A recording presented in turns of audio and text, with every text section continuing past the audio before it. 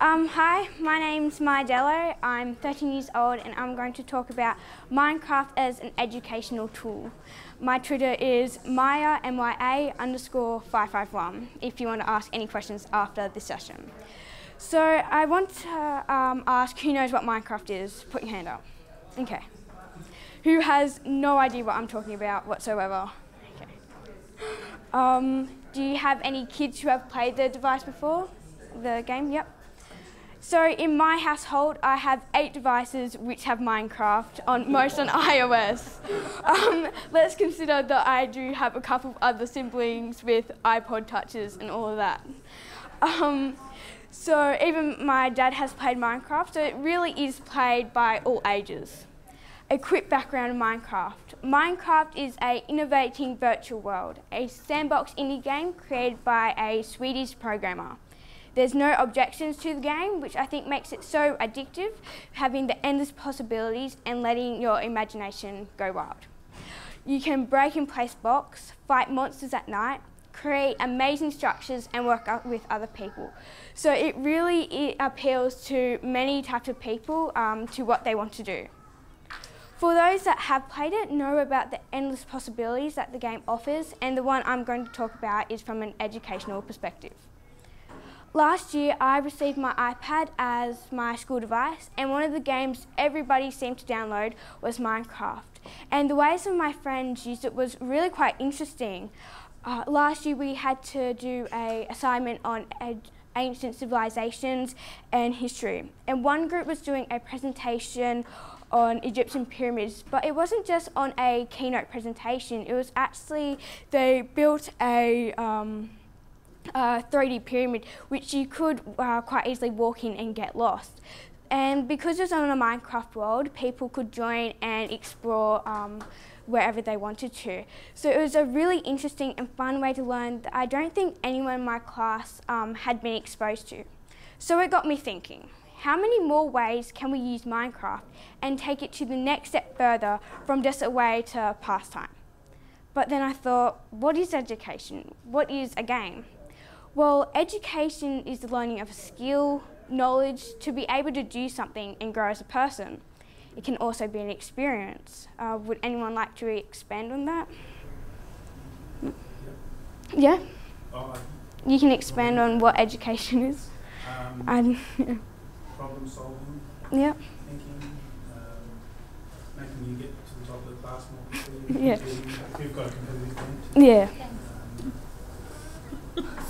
to my There's still time.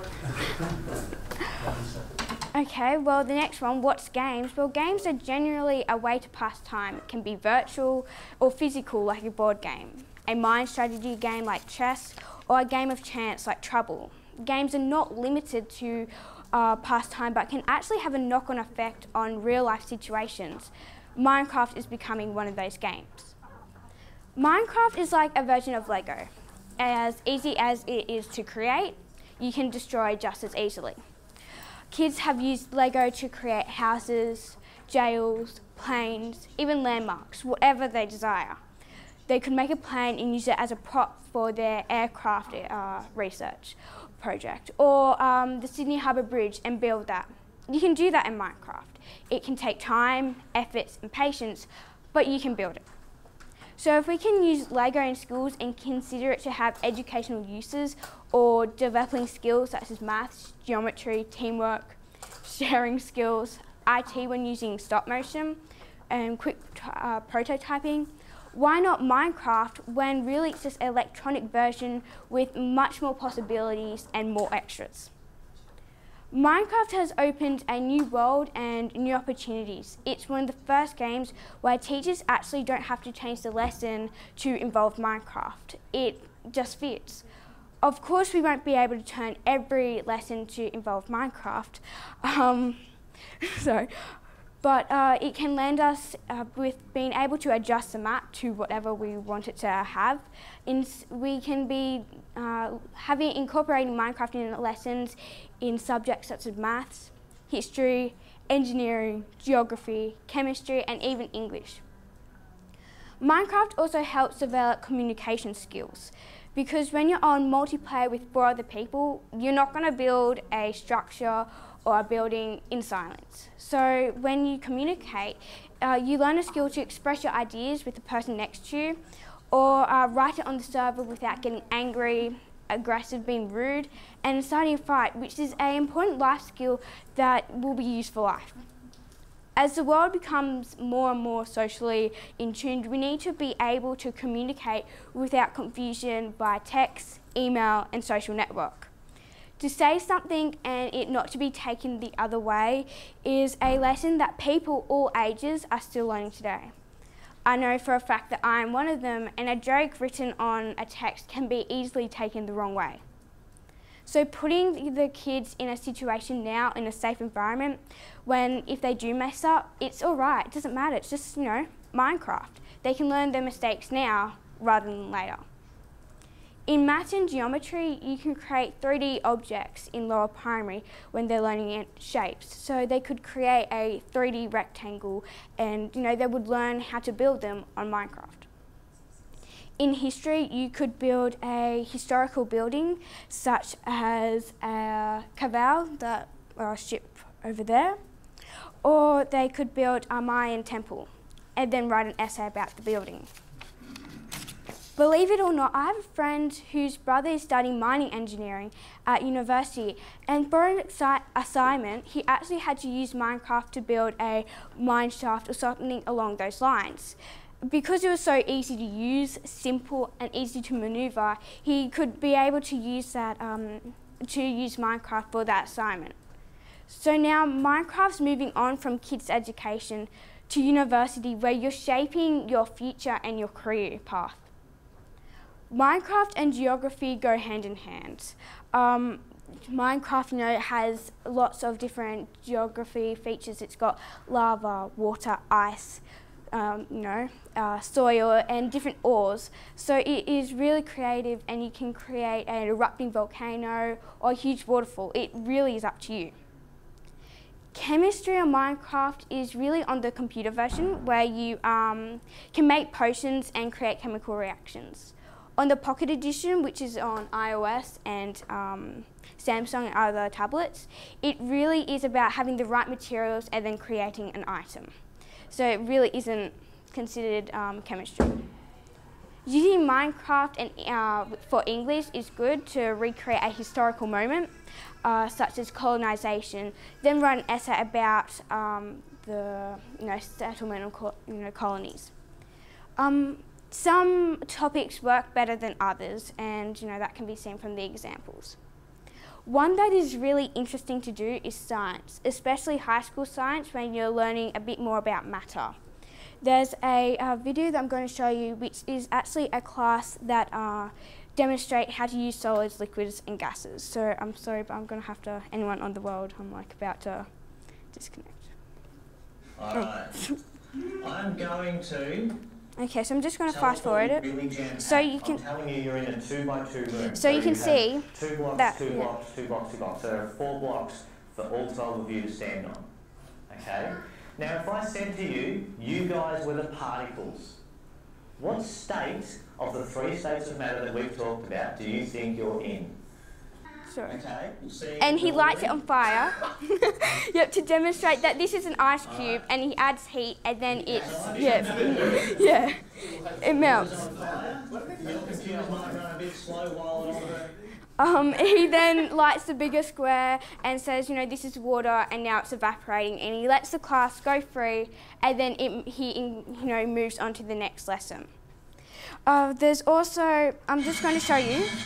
Um, I'm going to show you uh, somebody who created the Empire State Building and it's really interesting because it's time lapsed and um, to see what type of things you can build.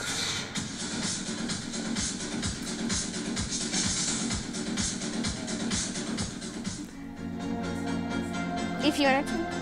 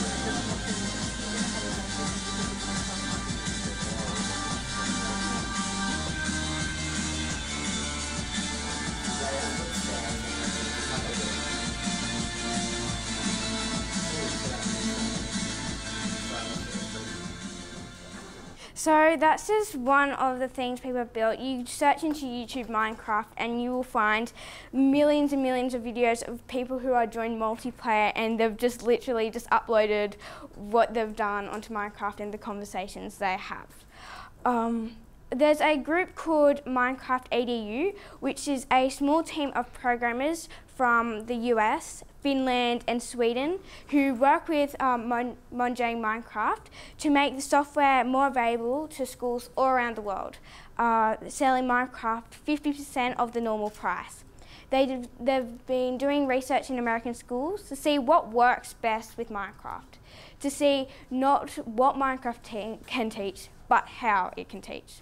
They offer workshops, customised Minecraft worlds, a online library of ideas and activities to incorporate Minecraft on all levels. And uh, it's made for teachers and by teachers. So as part of this task, I have, with some help, created a Minecraft world on creative mode with um, some buildings and different uh, stuff like that to show everyone. Um, if any of you guys have the app, and you can join onto world and have a look around. Um, if anybody wants to have a go on my iPad, you are more than welcome to come up and have a look. So this is the end of my presentation. Uh, it's my first presentation at Barcamp and I've really enjoyed it. Um, my name is Mya Dellow and it's not what Minecraft can teach us, but how it can teach us.